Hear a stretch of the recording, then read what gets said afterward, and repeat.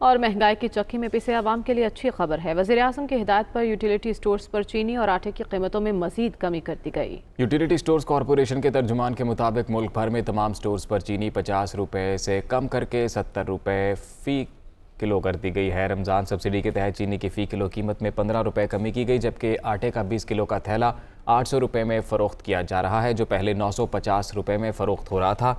Ramzan relief package के तहत मिलने वाली उन्नीस अशिया की फ़रोख्त शनाख्ती कार्ड से मुंसलिक की गई है।